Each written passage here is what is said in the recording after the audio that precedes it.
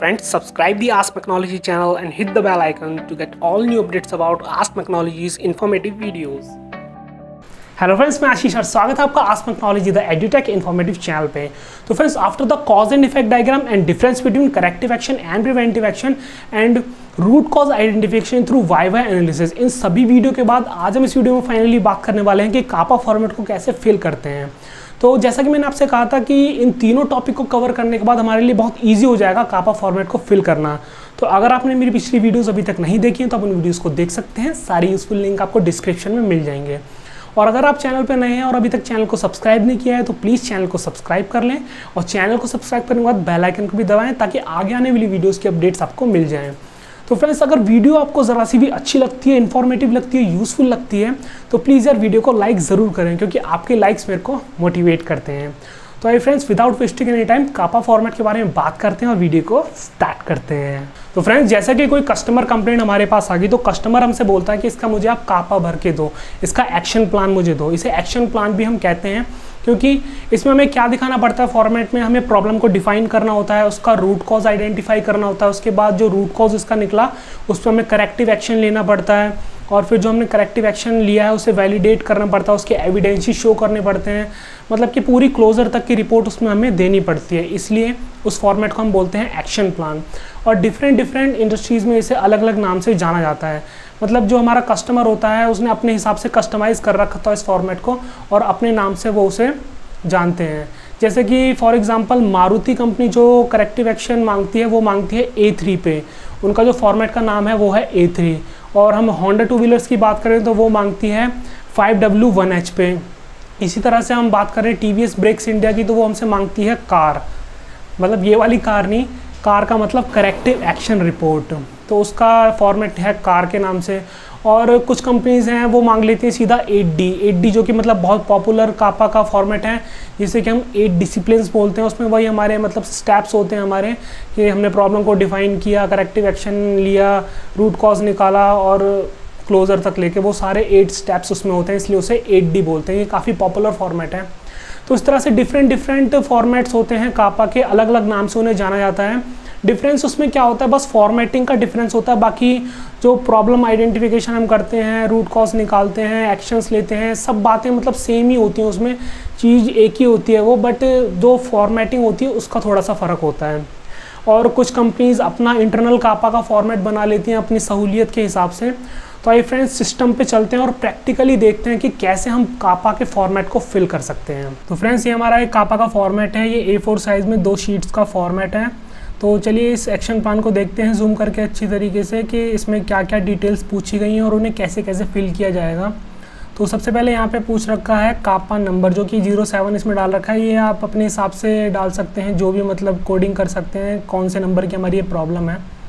उसके बाद यहाँ पे है रेफरेंस एनसीआर नंबर मतलब एनसीआर का है यहाँ पे नॉन कन्फर्मेंस रिपोर्ट जैसे कोई भी एनसी हमारी आती है नॉन कन्फर्मिटी आती है, कुछ भी हमारा डिफेक्ट रेज होता है तो वो डिफेक्ट किस पार्ट में हुआ, कब हुआ, किस क्वांटिटी में हुआ, कहाँ पे हुआ, वो सारी रिपोर्ट एन रिपोर्ट में भरी जाती है। तो एन रिपोर्ट इसी कापा से लिंक कर रखा है इसमें।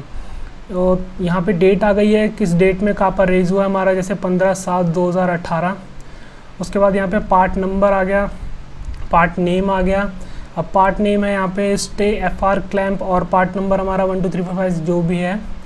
इसके बाद रिजेक्शन क्वांटिटी कितनी रिजेक्शन की क्वांटिटी यहाँ पे जैसे 22 दे रखी है। तो फ्रेंड्स इसके बाद यहाँ पे प्रॉब्लम डिफाइन करिए कि भैया प्रॉब्लम है क्या एक्चुअल में।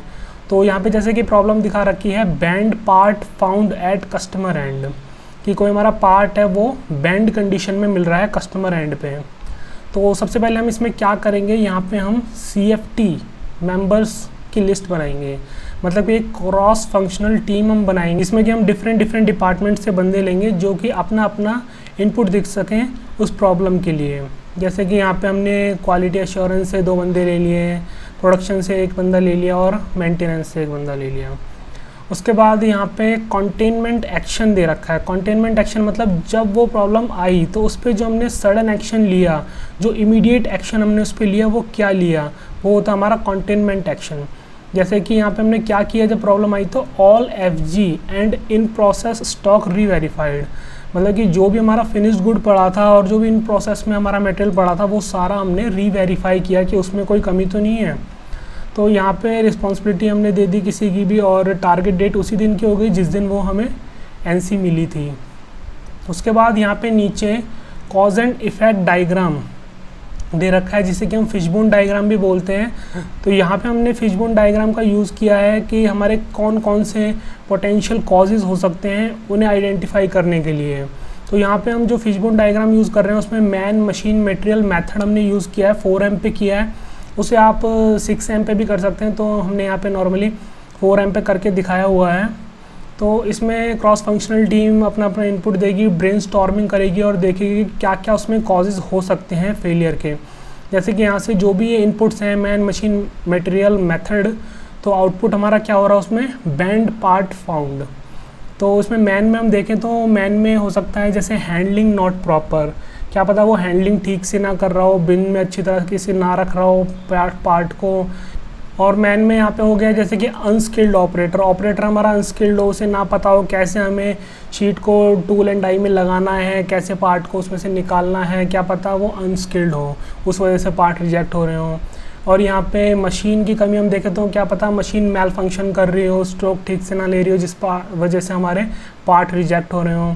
और या फिर यहाँ पे टूल एंड डाई हमारी बियर आउट होगी हो, जिस वजह से हमारा पार्ट ख़राब बन रहा हो। उसके बाद यहाँ पे मटेरियल में हम देखें तो material not as per specification हो सकता है, हमारा मटेरियल गलत हो, ठीक है स्पेसिफिकेशन के अकॉर्डिंग ना हो।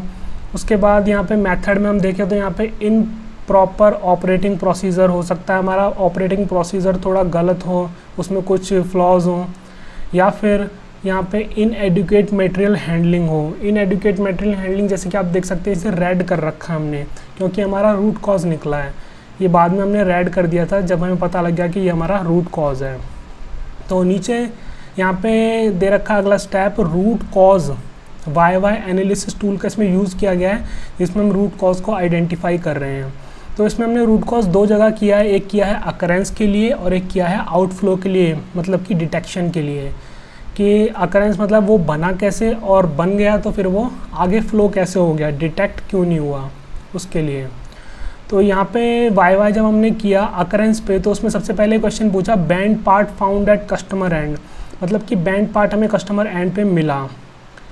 और फिर हमने क्वेश्चन किया वाई तो वहाँ पे part bend between die and punch जब हमने इन्वेस्टिगेट किया तो पता लगा कि जो हमारा पार्ट है, वो बैंड हो रहा है डाई और पंच के बीच में दबने से। अब वो कैसे हो रहा है why part jam at die outlet मतलब कि जो डाई का आउटलेट है, जहाँ से पार्ट निकलता है फिनिश वहाँ पे वो जैम हो जा रहा है पार्ट तो जैम कैसे हो जा रहा है? वाई तो यहाँ पे निकल के आया there is no provision of discharge conveyor मतलब कि वहाँ पे कोई भी डिस्चार्ज कन्वेयर की प्रॉपर व्यवस्था नहीं है। तो जो हमारा ये रेड हमने कर रखा है, ये हमारा हो गया रूट कॉज अब इस पर हमें एक्शन लेना पड़ेगा। तो रूट कॉज पे जो हम एक्शन लेते हैं, उसे क्या बोलते हैं? करेक्टिव एक्शन तो जो हमारा रूट कॉज निकलता है, उसका हमें उल्टा ही करना होता है तो वो हमारा एक करेक्टिव एक्शन हो जाता है। मतलब कि जैसे कि अब वहाँ पे डिस्चार्ज कन्वेयर नहीं है तो हम क्या करेंगे, वहाँ पे एक कन्वेयर लगा देंगे। अब वो हमारे ऊपर है कि हम किस तरह की कन्वेयर वहाँ पे लगा सकते हैं। वो आप अपना विजडम यूज़ करके, अपना एक्सपीरियंस और नॉलेज को यूज़ करके करेक्टिव एक्शन ले सकते हैं। तो यहाँ पे हम करेक्टिव एक्शन लेंगे कन्वेयर को वहाँ पे इम्प्लीमेंट करेंगे। उसके बाद यहाँ पे आ गया आउटफ्लो तो आउटफ्लो पे जब हम कर रहे हैं वाई वाई एनालिसिस तो सबसे पहला क्वेश्चन क्या आता है? Bend part not arrested at final inspection कि फाइनल इंस्पेक्शन पे बैंड पार्ट नहीं पकड़ा गया. क्यों नहीं पकड़ा गया? वाई क्योंकि इंस्पेक्टर नॉट अवेयर इंस्पेक्टर हमारा अवेयर नहीं था. भैया, क्यों अवेयर नहीं था? बिकॉज़ अनस्किल्ड इंस्पेक्टर कि जो हमारा इंस्पेक्टर था, वो अनस्किल्ड था. तो अनस्किल्ड था, इसका मतलब हमें उससे ट्रेनिंग देनी पड़ेगी. उसे दोबारा से बताना पड़ेगा, उसे स्किल्ड करना पड़ेगा, ठीक है? तो यहाँ पे जो हमारे रूट कॉज निकल के आए हैं अकरेंस का there is no provision of discharge conveyor और आउटफ्लो का अनस्किल्ड इंस्पेक्टर तो उन्हीं के हमने यहाँ पे करेक्टिव एक्शंस लिए हैं नीचे। तो यहाँ पे अकरेंस का करेक्टिव एक्शन क्या हो गया? Proper discharge conveyor is implemented कि हमने डिस्चार्ज कन्वेयर इम्प्लीमेंट कर दिए हैं। तो मिस्टर विजय ने टारगेट डेट ली यहाँ पे, पंद्रह को प्रॉब्लम आई थी, अठारह को उन्होंने ये करेक्टिव एक्शन ले लिया। उसके बाद आउटफ्लो पे हमने क्या किया? ट्रेनिंग दी ऑपर इंस्पेक्टर को और गेज इम्प्लीमेंट कर दिया एक हमने कि इस गेज से वो इंस्पेक्ट करेगा और उसी की हमने उसे ट्रेनिंग भी दे दी। तो इससे भी हमने क्या कर लिया? टारगेट डेट इसकी भी 18 रखी 18 को ही हमने इसे अचीव कर लिया। उसके बाद प्रिवेंटिव एक्शन अब ऐसा तो नहीं है जो हमने करेक्टिव एक्शन ले लिया रूट कॉज पे, अब ये प्रॉब्लम आएगी नहीं, फिर भी ये आ सकती है। तो प्रोसेस को और ज़्यादा अच्छा बनाने के लिए और ज़्यादा अपनी क्वालिटी को इम्प्रूव करने के लिए हमने प्रिवेंटिव एक्शंस भी वहाँ पे लिए। तो प्रिवेंटिव एक्शन हमने कैसे लिए? Training given to operator for proper material handling and instruction is given about overflow of material in bins मतलब कि जो ऑपरेटर हो सकता है वहाँ पे मटेरियल हैंडलिंग ठीक से ना कर रहा हो ओवरफ्लो कर दे रहा हो मटेरियल को और बिन्स के ऊपर बिन्स को रख दे रहा हो, जिससे हमारा पार्ट डैमेज हो सकता है बैंड हो सकता है। तो उसके लिए भी हमने उसे ट्रेनिंग दे दी अच्छी तरीके से कि हमें ऐसे ऐसे बिन्स लगाने हैं और इस वजह से रिजेक्शन नहीं बननी चाहिए। तो इसकी responsibility mister Vijay, mister Rahul की, ये भी हमने 18 तारीख को कर दिया। उसके बाद आउटफ्लो पे हमने एक प्रिवेंटिव एक्शन लिया, वो कैसे लिया? Limit samples are displayed at final inspection. Final inspection में हमने लिमिट सैंपल लगा दिए। लिमिट सैंपल क्या होते हैं? जैसे कि वो एक एस्थेटिक सैंपल्स होते हैं, जिन्हें देख के हम बता सकते हैं कि ये हमारा पार्ट ओके है, ये रिजेक्ट है, जिससे कि जो इंस्पेक्टर वहाँ पे है, वो आइडेंटिफाई कर सके देख के कि ये हमारा पार्ट चल जाएगा और ये पार्ट हमारा नहीं चलेगा।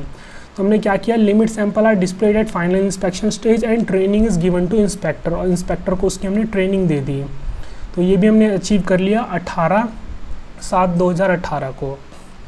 उसके बाद एक्शंस टू प्रिवेंट रीअकरेंस अब रीअकरेंस को रोकने के लिए हमने क्या क्या एक्शन लिए? यहाँ पे एक एक्शंस की लिस्ट बना रखी है। तो जो भी एक्शन हमने लिए हैं, उसे हम टिक कर सकते हैं यहाँ पे।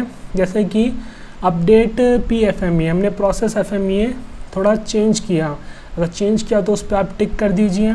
उसके बाद update control plan control plan हमने चेंज किया। हमने वहाँ पे इंस्पेक्शन गेज लगा दिया। तो वो हमने उसमें डाला तो अपडेट कर दिया हमने कंट्रोल प्लान उसके बाद अपडेट वर्क इंस्ट्रक्शन तो हमने गेज इम्प्लीमेंट किया तो वर्क इंस्ट्रक्शन भी उसकी बनाई। तो वर्क इंस्ट्रक्शन अपडेट करिए तो उस पर भी हमने टिक लगा दिया। और जो जो एक्शन जिस जिस डेट में हमने लिए वो वो डेट इसमें यहाँ पे इम्प्लीमेंटेशन डेट हमने डाल दी। तो ये जो जितने भी एक्शन थे, इनके सबके हमने एविडेंसेस नीचे यहाँ पे शो कर रखे हैं फ़ोटोग्राफ्स की फॉर्म में। जैसे कि आप नीचे यहाँ देख सकते हैं डिस्चार्ज कन्वेयर यहाँ पे लगा रखी है। ठीक है, इसका फ़ोटो हमने डाल दिया। उसके बाद यहाँ पे ऑपरेटर ट्रेनिंग दी हमने। तो ये जो भी एविडेंसेस हैं, ये मतलब एकदम प्रॉपर एविडेंस नहीं है। मैंने आपको समझाने के लिए इसमें लगा रखे हैं। मतलब इस तरह से इसे फ्रेम किया जाता है। ठीक है? तो यहाँ पे ऑपरेटर ट्रेनिंग लगा दी, यहाँ पे डब्ल्यू आई फॉर गेज लगा दिया हमने, यहाँ पे लिमिट सैंपल्स की फ़ोटो लगा दी, यहाँ पे इंस्पेक्टर ट्रेनिंग की पिक्चर लगा दी, बाकी जितनी भी एविडेंसेस हैं हमारे, उन्हें हम अलग से अटैच करके भी कस्टमर को सबमिट करते हैं, ठीक है? इसके बाद यहाँ पे सबसे लास्ट में आया problem closure and sign off तो प्रॉब्लम प्रोसेस समरी है ये, जिसमें हमने डिफ़ाइन कर रखा है प्रॉब्लम क्लोज़र को, कि जो प्रॉब्लम हमारी डिफ़ाइन हुई कब पाँच पंद्रह तारीख को। उसके बाद कंप्लीट कब हुआ? पंद्रह तारीख को ही। और उसके बाद कंटेनमेंट एक्शन हमने पंद्रह तारीख को ही लिया, ठीक है? उसके बाद रूट कॉज एनालिसिस हमने सोलह को किया, ठीक है? उसके बाद करेक्टिव एक्शन हमने सत्रह को स्टार्ट किया और अठारह को वो ले लिया। उसके बाद प्रिवेंटिव एक्शन हमने अठारह को स्टार्ट किया, अठारह को ही कंप्लीट कर दिया। अब इसके बाद यहाँ पे आता है सॉल्यूशन कन्फर्मेशन जो भी हमने करेक्टिव एक्शंस लिए हैं, क्या वो ठीक हैं? उन्हें कैसे हम इवेल्यूएट करेंगे? जैसे कि अब हमारी सप्लाई जो जाएँगे, हम पाँच या दस सप्लाई में ऑब्जर्वेशन लेंगे कि हमारे पार्ट रिजेक्ट तो नहीं हो रहे हैं अगर उस वजह से हमारे पार्ट रिजेक्ट नहीं हो रहे हैं, उसका मतलब जो हमने एक्शन लिया था वो इफ़ेक्टिव है। तो ये डेट कंप्लीशन की जब आ जाएगी, जब हमारी ऑब्जर्वेशन ख़त्म हो जाएगी और उसी के बाद ये क्लोज़र की डेट्स भी फिल कर दी जाएँगी। तो इस तरीके से हम पूरे एक्शन प्लान के फॉर्मेट को फिल करते हैं। तो जो चीज़ें होती हैं, सभी फॉर्मेट्स में सेम ही होती हैं। बस फॉर्मेटिंग का थोड़ा सा फ़र्क होता है। कोई चीज़ ऊपर, नीचे या आगे, पीछे कर रखी होती है। बाकी जो फॉर्मेट्स होते हैं, उनमें जो चीज़ पूछी होती है, वो सारी यही होती हैं स्टेप्स यही होते हैं। हमें सभी में यही करना होता है। प्रॉब्लम को डिफ़ाइन करना होता है, उसके बाद सीएफटी बनती है, उसके बाद कंटेनमेंट एक्शन लिए जाते हैं। कॉज एंड इफ़ेक्ट डायग्राम में हम आइडेंटिफाई करते हैं कॉजेज़ को। उसके बाद रूट कॉज निकाला जाता है करेंस पे आउटफ्लो पे। उसके बाद जो रूट कॉज निकला, उन पर करेक्टिव एक्शंस लिए जाते हैं। प्रोसेस को और बेहतर बनाने के लिए फिर उस पर हम प्रिवेंटिव एक्शन लेते हैं। उसके बाद जो जो एक्शंस हमने लिए हैं, उनके एविडेंसेस अटैच किए जाते हैं साथ में। फिर सारी प्रॉब्लम्स जैसे जैसे हमने जिस जिस फ़ेज़ में कंप्लीट करी है, उनको डिफ़ाइन किया जाता है क्लोज़र तक। तो इस तरह से हम कापा के फॉर्मेट को फिल कर सकते हैं। तो फ्रेंड्स ये सब था कापा फॉर्मेट के बारे में कि हम कापा के फॉर्मेट को कैसे कैसे फिल कर सकते हैं क्या क्या उसमें डिटेल्स हमें डालनी होती है, कैसे एक्शन प्लान को हम कस्टमर को सबमिट कर सकते हैं। तो आई होप इस वीडियो को देखने के बाद आपके डाउट्स क्लियर हो गए तो अगर आपको वीडियो पसंद आई तो प्लीज़ इस वीडियो को लाइक ज़रूर करें। और मुझसे कुछ पूछना चाहते हैं तो प्लीज़ मुझे कमेंट करें, इस वीडियो के साथ शेयर करें। और ऐसे इन्फॉर्मेटिव वीडियोस देखने के लिए प्लीज़ मेरे चैनल को सब्सक्राइब करें। चैनल को सब्सक्राइब करने के बाद बेल आइकन को ज़रूर दबाएँ, ताकि मेरे चैनल की अपडेट्स आपको मिल जाएँ। और फ्रेंड्स साथ ही साथ मेरे फेसबुक पेज को भी लाइक करें which is also ask technology सारी यूजफुल लिंक आपको डिस्क्रिप्शन में मिल जाएँगे। तो फ्रेंड्स मिलते हैं नेक्स्ट वीडियो में. Till then keep learning keep doing and be technical